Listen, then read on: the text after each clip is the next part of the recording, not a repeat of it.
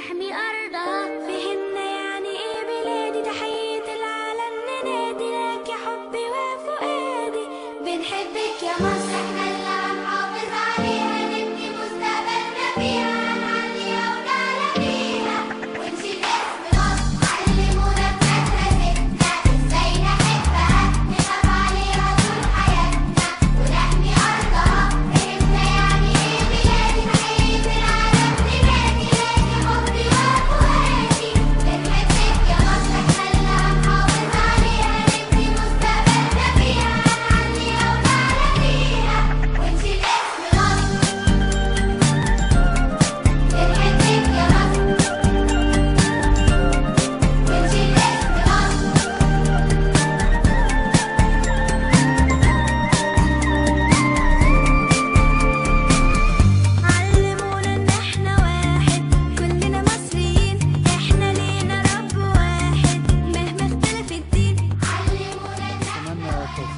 التوفيق للمدرسة هي تجربة جديدة وكل أولادنا بيخوضوها وواضح من التجربة إن هي تجربة إن شاء الله ناجحة.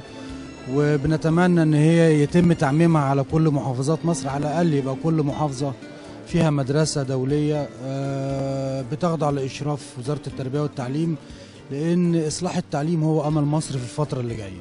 بنتمنى لهم التوفيق وبنتمنى أولادنا كلهم التوفيق إن شاء الله. كل سنة وأنتم طيبين. أنا محمد عبد الغفار.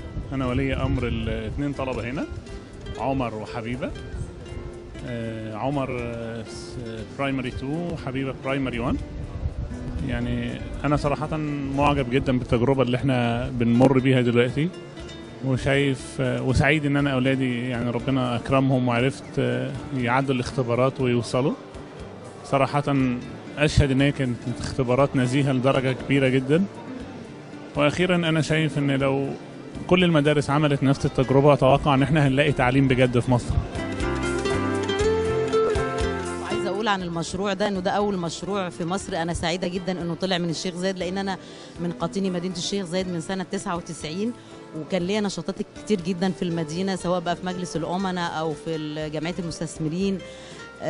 جمعيات الخيرية وبعدين لما المشروع يطلع من الشيخ زايد آه، مدرسة بال- بالشكل العظيم ده بالتعاون مع مؤسسة طبعا جرين لاند اللي لها تاريخ عظيم أنا أعتقد إن المشروع إن شاء الله هينجح آه، نجاح غير عادي.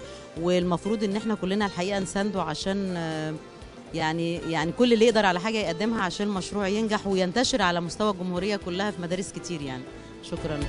أنا بشكر المدرسة جدا. على كل اللي عاملاه. بجد يعني ربنا يكرمهم ما شاء الله ما شاء الله. كل حاجة جميلة جدا في المدرسة. إيه، مفيش يعني مفيش غلطة فيها بأمانة. ربنا يكرمهم ما شاء الله. وأنا شرف ليا فعلا ان ابني في اتقبل في المدرسة. الحقيقة النهارده إحنا بنمر بتجربة جميلة جدا. آه، إن إحنا يبقى عندنا مدرسة دولية آه، منوطة بالتدريب والتعليم على أعلى مستوى خاصة في اللغة الإنجليزية واللغات الاخرى بالإضافة لتدريس المناهج باللغة العربية واللي هيسهل على الطلبة آه، عملية التحصيل. وإن المدرسة ديت هيخرج منها آه، الطلبة بشكل ميسر على آه، الالتحاق في كليات دولية ودولات كمان كليات موجودة في مصر وخارج مصر. أنا شايفة المدرسة فكرة جميلة وطفرة جديدة في عالم التعليم.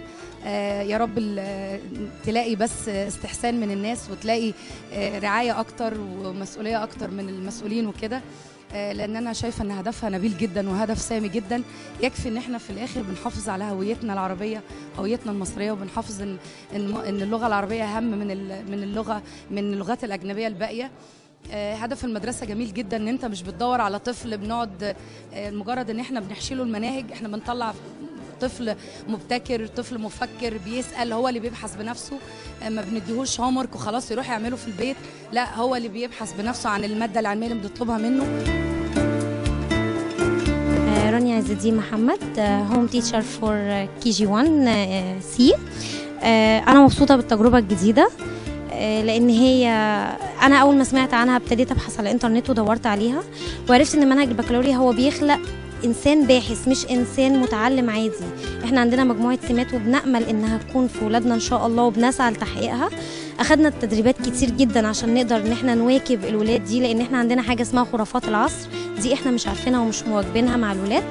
فإحنا بنبتدي نتدرب عليها بالفعل وأتمنى أتمنى إن إحنا من خلال البرامج البرامج اللي إحنا خدناها واتدربنا عليها إن إحنا نقدر نخلق طفل بالسمات اللي إحنا اتعلمناها واللي إحنا اتدربنا عليها.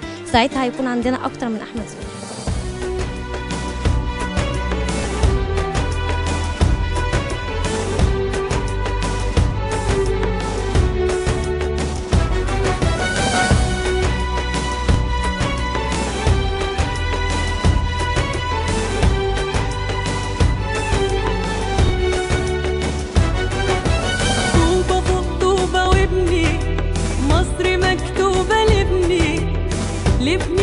What?